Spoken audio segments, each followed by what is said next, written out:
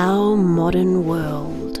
A world filled with technological marvels, made of miracle materials. But there is one material so versatile, so extraordinary, that if it didn't exist, we'd have to invent it.